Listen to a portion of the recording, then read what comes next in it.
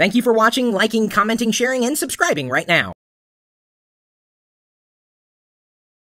Thomas O'Donnell has been sending me a flurry of emails for the past few days, and I appreciate them all. I mean, that's what I kind of feed on in terms of creating the content that we push through here at live.pirillo.com, and of course in the archives on YouTube and media.pirillo.com. He asks, I have two computers, a laptop and a desktop PC. I always, always use my laptop, but I've upgraded my desktop PC to have 200 gigabytes of space to store transfers and other items I want to know. If I don't use it for so long and then go and use it to edit something, it's slow. Why? You use it and it's fast, and leave it for an hour or so and it slows down. Why?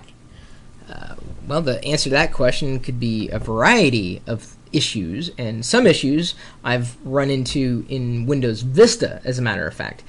Uh, this could happen for a few reasons. One reason may be that the power management software uh, in your installation of Windows isn't up to snuff. So the drivers are kind of causing things to be slower when your computer goes to sleep and then you wake it back up to try to do something. Um, and that has actually been a filed bug that has affected a lot of people, myself included, uh, with using Windows Vista. So I'm not sure, Thomas, if you're using Windows Vista at all, but uh, that is. Uh, one of the reasons uh, the power management specifically in Windows Vista, or even if you're running XP or any other version of Windows, if that power management software or the drivers related to the power management features of your computer um, aren't perfect, then when you reboot the machine, everything's fine, and then it goes to sleep, whether it suspends or hibernates or something, and then when you wake it back up, it may not be in the same state. Um, this has pretty much always been the case for Windows and power management drivers, and for that reason, uh, you see me rebooting this machine a lot, um, even though I, I let it fall asleep at night. I don't shut it down all the way. Um, and then I wake it up, and sometimes I'll have certain issues. Like earlier today, I was having issues with USB. Uh, it wasn't reconnecting because when my computer went to sleep, when it woke back up, things weren't working right. So I had to reboot and getting back into Windows, and then I was, for the most part, I was fine again. Um, that is my estimation. It may be related to that, specifically your computer falling asleep. How do you get around it? Uh, I don't know if there's really a way to get around it other than. Um, you know, checking to make sure you've got the latest drivers installed. Check with your motherboard manufacturer uh, to see, or your the whoever created your computer to see if there are any updates specifically for the power management software or components inside your system. There may be a BIOS update uh, that is we've talked about before is the software that allows your computer to see what components are attached to it and control it in, in that capacity before the operating system fully loads or loads at all.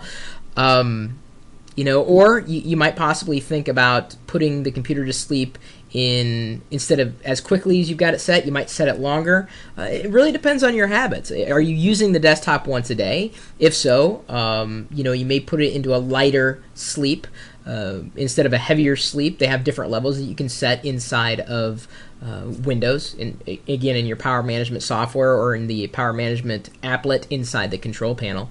Um, trying to think of what else. And you know, this is this is one area where Mac OS 10 really shines. Um, I'm sure it has power management issues too, but um, I haven't seen many, if any of them. Uh, I keep my Mac Mini running all the time, and I've opened and shut the MacBook, uh, Ponzi's MacBook, several times, and without ever really rebooting other than for a software update it really handles power management far better than windows and eh, like pc manufacturers ever have. And i don't know if that's going to be the case forever but uh, that's certainly something to consider. Um, you know as, as you consider your upgrade options and moving forward if it's something that frustrates you. Um, i don't know. Anybody else have any tips? You never shut your laptop down. That's another way of looking at it. Um, you know if you if you never shut it down i i well, good luck to you. I certainly have shut mine down several times. Uh, but if you have any other power management tips or, or possibly any other solutions for Thomas, uh, by all means, we'll we'll take them all. I mean, we all run into these kinds of hiccups on a regular basis, if not daily basis. Um, we're looking for help. Uh, any help you can get, leave a comment, remark, whatever. Of course, you can uh, swing by the chat room if you happen to be having a similar issue or maybe a different issue related to power management. We may be able to answer it in a future question. And in order to get over to where we're talking all the time, 24 hours a day, all you got to do is swing by, well, chris.pirillo.com forward slash live, or even easier, live.pirillo.com.